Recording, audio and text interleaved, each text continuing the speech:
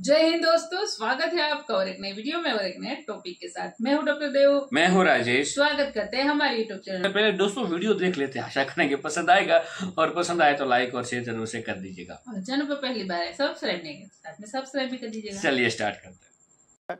IPL के player इतने strong किए हुए हैं तो इसलिए उन्होंने अपना बेंच इतना स्ट्रांग किया हुआ है। इवन एक टीम के बाद वो थर्ड टीम भी अपनी अनाउंस कर सकती है उनको कोई फ़र्क नहीं पड़ सकता। वो भी जीत जाए शायद। वो भी शायद जीत जाए। तो मेरा ख्याल में इंडिया को टीम में जुड़ चुके हैं और हिंदुस्तान की जो टीम है जो जिम्बाब्वे के अगेंस्ट खेलेगी जिसमें कैप्टन होंगे शुभमन गिल साथ में जो है रुत, रुतराज गेकवाड है नमस्कार अभिषेक शर्मा। दोस्तों आपको बता दें कि जिम्बाब्वे के खिलाफ भारत की यंग टीम देख पाकिस्तानी मीडिया और वहाँ के लोग हैरान हो गए हैं। तो चलिए देखते हैं इस पर पाकिस्तान की मीडिया और वहाँ के लोगों का क्या रिएक्शन होता है। लेकिन उससे पहले इस वीडियो को लाइक करके चैनल को सब्सक्राइब कर लीजिएगा। एक बात है अच्छी इंडिया की बात हो रही थी कि इंडिया ने अभी जिम्बाब्वे का टूर अनाउंस किया है। और अपने तमाम बड़े प्लेयर्स को रेस्ट दे दी। रेस्ट दे दिया उन्होंने। मैं यही बात उनके तमाम बड़े प्लेयर्स रेस्ट पे बैठ भी गए कोई एतराज़ नहीं है रोहित शर्मा भी बैठ गए कोहली भी बैठ गए बुमराह भी बैठ गए ये है स्क्वाड शुभमन गिल कैप्टन है अभी आए थे नए टीम में कैप्टन बना के भेज दिया उनको। सभी नए लग रहे मैं तो मैंने नहीं सुने हुए ये नाम। तू बोल रहे मैं बोलूँ? अहमद भाई आप ही दो ये जवाब। पहले उमर बोलना चाह रहा।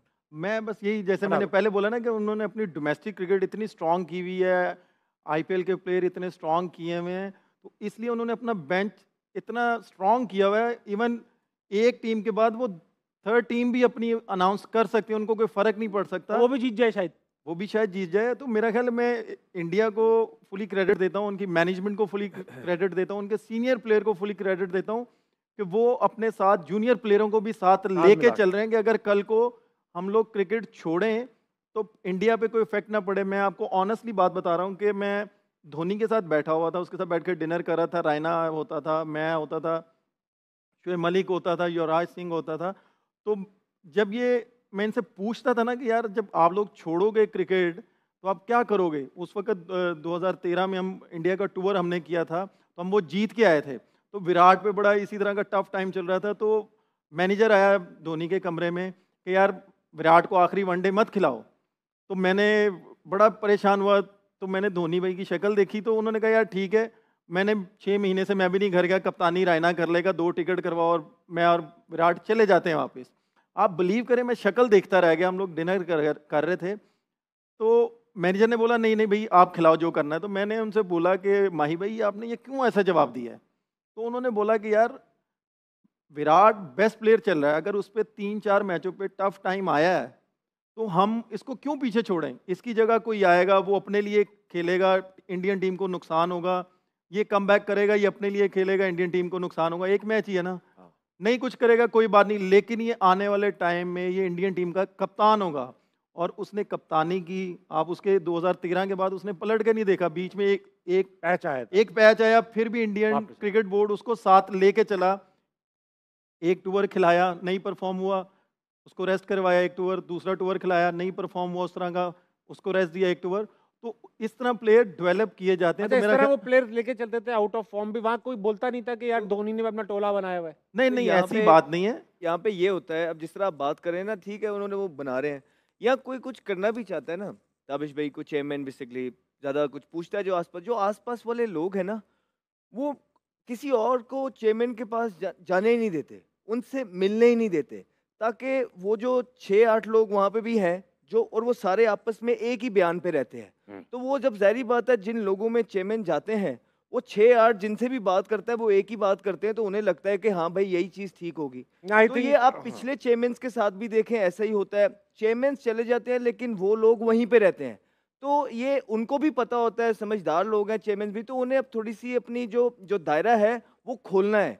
क्योंकि इस टाइम पे क्रिकेट पाकिस्तान की उस डगर पे खड़ी है कि अगर अभी भी उन्होंने अपना दायरा बियॉन्ड ना किया खोला नहीं और उन्हीं छः आठ लोगों के अंदर रहे जो कि चाहते हैं कि वो और किसी से मिले ही ना तो पाकिस्तान टीम बहुत रिवर्स गेट लगेगा। मुझे ऐसा लगता है कि अगर चेयरमैन जितने भी चेयरमैन है और उनको छः सात लोग मैनिपुलेट कर सकते हैं तो chairman should be smarter than that yes अगर आपको आपको ये लगता है एहसास है कि चेयरमैन को लोग बेवकूफ़ बनाते हैं मिल मिला के या उनको फ़ीड करते हैं तो फिर वो चेयरमैन ही डिजर्व नहीं करते चेयरमैन जब भी आप जो किसी अंदर के बंदे से ये बात पूछेंगे तो वो आपको सेम ही बात करेगा कि ऐसा ही होता है। सो आई एग्री विद वो start होगी। इंडियन क्रिकेट बोर्ड की तरफ़ से जो है ऑफिशियली अनाउंसमेंट हो चुका है। यहाँ पे तीन नाम जो है बताए गए हैं। आपको पता है कि हिंदुस्तान की टीम को अब विराट कोहली रोहित शर्मा और जडेजा की जगह जो है तीन तगड़े प्लेयर चाहिए और वो तगड़े प्लेयर कौन होंगे? कौन आएगा उनकी जगह दोस्तों, वो तो बाद में पता चलेगा, लेकिन इस टाइम हिंदुस्तान की टीम में तीन नाम जो है, आ गए हैं, जिसमें साई सुदर्शन है, जितेश शर्मा है और हर्षित राणा है।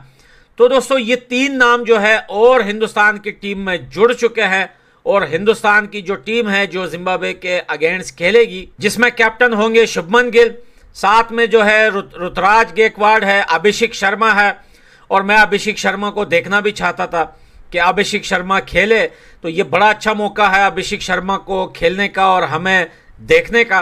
और साथ में भाई, साई सुदर्शन जैसे हमने आपको बताया, गुजरात टाइटन से खेलते हैं वो तो साई सुदर्शन का नाम भी ऐड हुआ है।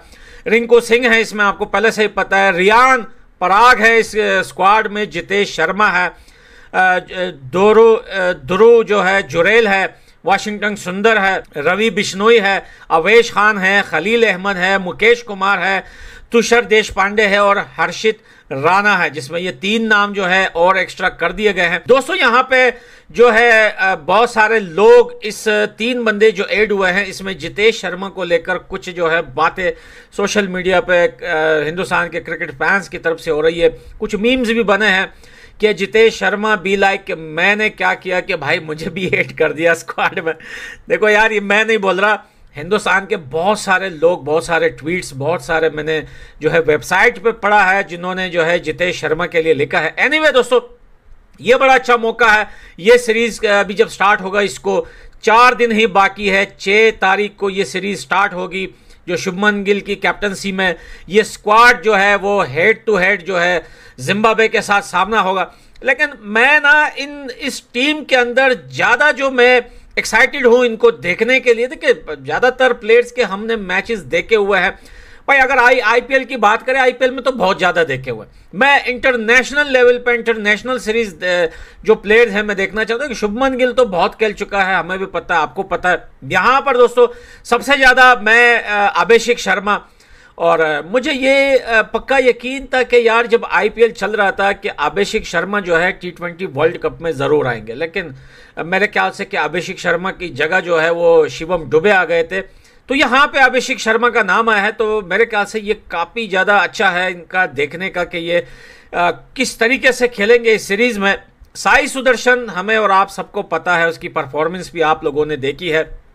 तो उसके बारे में ज़्यादा बात करना नहीं बनता। रही बात जितेश शर्मा की तो भाई सच बोलो ना तो जितेश शर्मा के बारे में उतना एक्सपीरियंस नहीं है। देखिए, मैंने उनको देखा है, पंजाब किंग्स में जो है उसके मैचेस वगैरह देखे हैं, लेकिन अभी मैं कुछ बोल नहीं सकता जब तक ये सीरीज़ नहीं हो जाती, हम मैचेस नहीं देख लेते।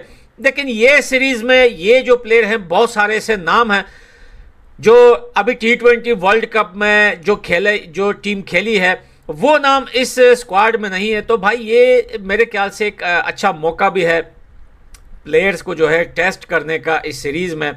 और कौन सा प्लेयर किस टाइप का परफॉर्मेंस करेगा, ये तो फिर सीरीज़ में ही पता चलेगा। बेशक इसमें कोई शक नहीं है कि जिम्बाब्वे की टीम कमज़ोर है। लेकिन इतनी भी कमज़ोर नहीं है कि बंदा बोले कि यार, ये तो बिल्कुल ही ख़त्म है। तो जिम्बाब्वे ने कई बार पाकिस्तान जैसे देश को शिकस्त दी है, फिर कुछ लोग बोलेंगे कि भाई, पाकिस्तान का नाम कहाँ से आ गया? क्या ही करे भाई? जिस गली में हम मुड़ रहे हैं, वहीं पे पाकिस्तान हारा हुआ है भाई। तो भाई, जिम्बाब्वे का जो है, टुका हुआ पाकिस्तान तो हम इस टीम को जो है, कमज़ोर नहीं बोल सकते। कि भाई ये जिम्बाब्वे की जो है टीम कमज़ोर है क्योंकि भाई उन्होंने 150 प्लस वालों को धोया है। एनीवे anyway, दोस्तों ये सीरीज़ अभी बहुत सारी सीरीज़ें आने वा, आने वाली है। बांग्लादेश वर्सेस अफ़गानिस्तान का। मेरे ख्याल से अफ़गानिस्तान की टीम में भी बहुत सारे चेंजेस होने वाले हैं। रहमत शाह जो वनडे में आपको दिखा था पिछले साल जो अच्छी पार्टनरशिप कर रहा था वो कैप्टन के साथ शाहिदी के साथ तो वो दोबारा मेरे ख्याल से अब टी ट्वेंटी में मिडिल ऑर्डर में उनको लिया जाएगा। अभी बातचीत हो रही है कन्फर्म नहीं हुआ है ये बात।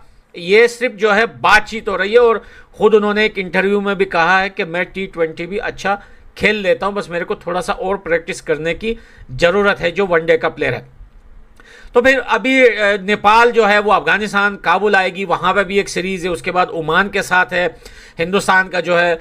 तो भैया, वो लोग जो टी ट्वेंटी वर्ल्ड कप खत्म होने के बाद मायूस बैठे हैं तो घबराइए मत, देखें थोड़ा सा रेस्ट भी लिया करें। वर्ल्ड कप में बहुत सार, बहुत थक गए थे, हम और आप लोग चिल्ला के कि जीत गए जीत गए।